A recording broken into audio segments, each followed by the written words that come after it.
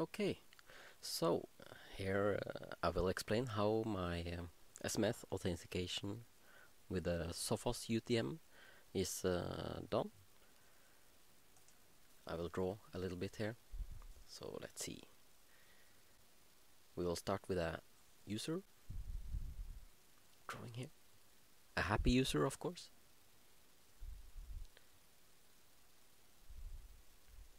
He goes to a web page www.google as in the sample video that I made before.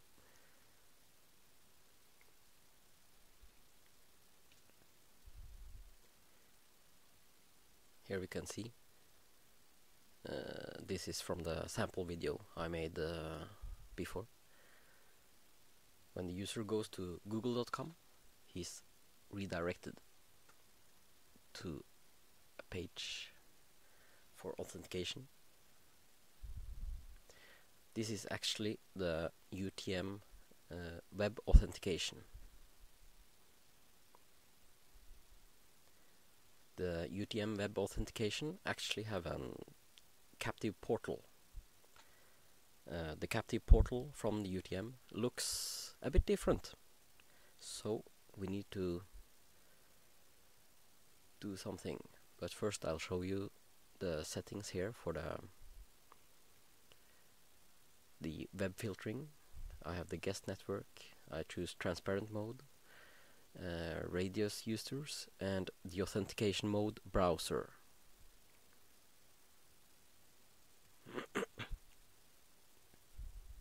to change the default uh, captive portal page from Sophos, I'll do a little trick here. The default page will just ask you for a username and password. But we don't have a username and password yet. We want to make one up.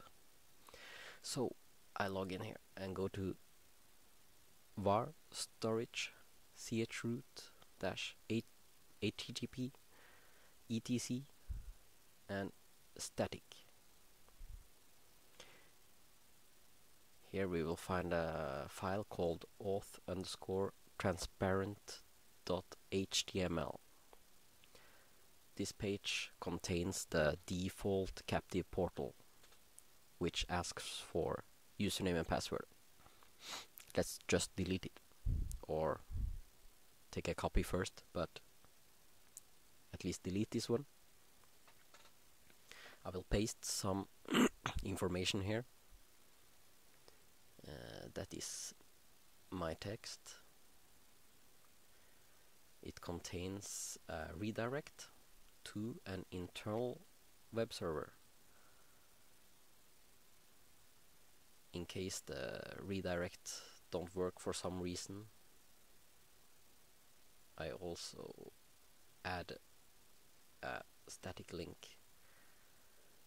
But most browsers will just follow the redirect directly.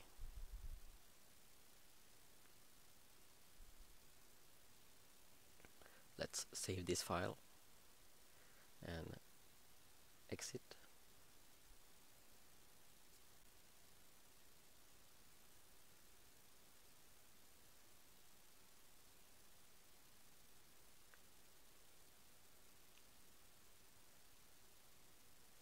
So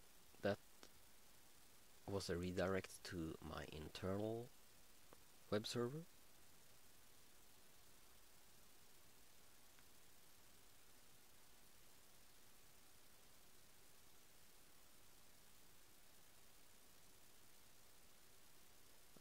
It's outside the page here. I will move the paper a bit here.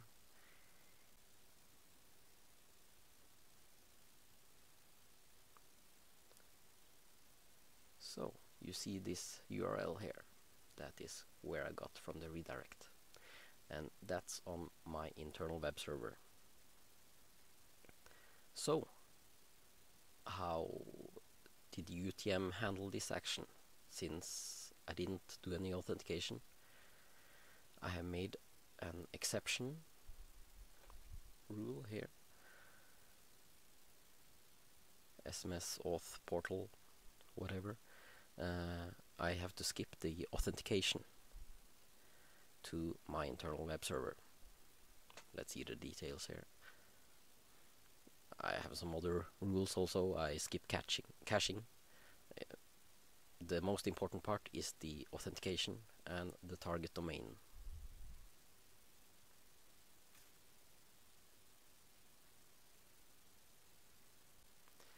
As you saw, the internal web server asked for some input. Firstly, the telephone number.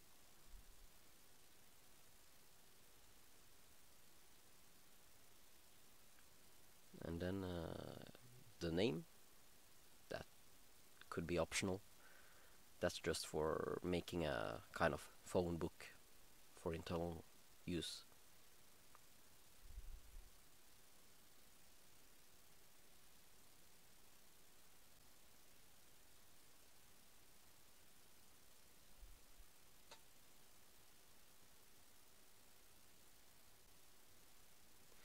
now my internal server generates a random password.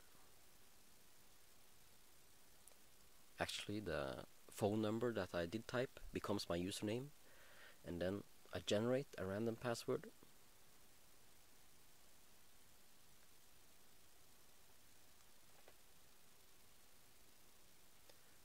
and then the server adds the username and that is the phone number and the password to my radius server which is a free radius server.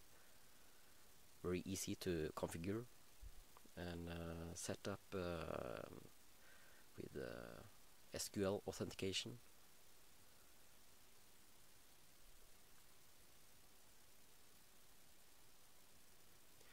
I will show you the radius radius uh, setup here at the UTM.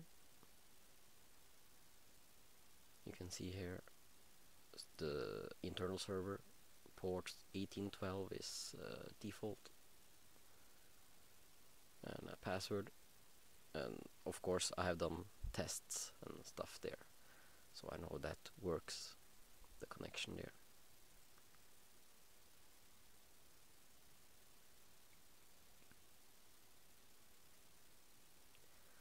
So now I need to send an SMS with that generated password.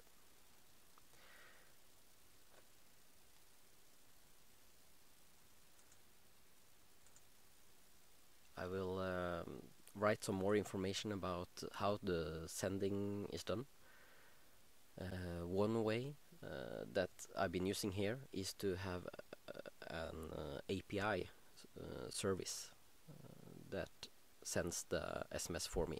So I just need to post a message to an API service.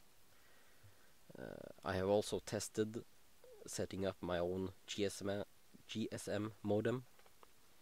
Uh, it seems kind of slower, so I don't know why the API service managed to get faster than uh, your own GSM uh, modem, but that's it. I also tried setting up a Skype connection uh, with the Sky Skype uh, API. I uh, also could send SMS messages, but I fancy the API message of a provider that we're using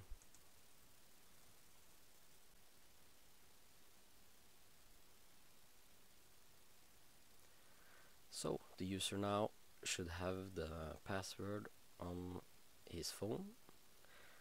So then we just ask for the input from the user.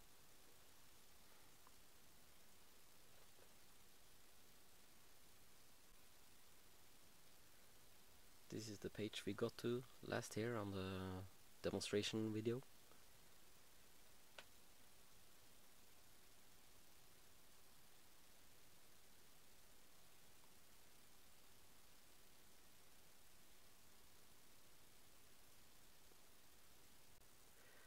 Now that we have the username and the password of the user, we need to post this back to the UTM's web authentication.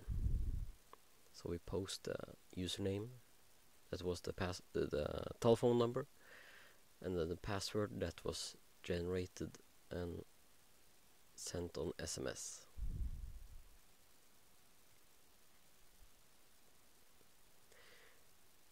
Here is the code used for the form. I post this to passthrough.fvu notified.net login. Uh, that is the username here and the password here that's posted and a little JavaScript that automatically do the posting so the user don't need to click yet another button. Now the user gets to a web page either the one he originally tried to get to or a web page that you have set up uh, in uh, in the redirects earlier. I will try to explain this at my blog uh, later. So, we came to the end of this video. Thank you for uh, watching. I hope you follow my uh, blog at uh, rxtx.no. Thank you. Bye.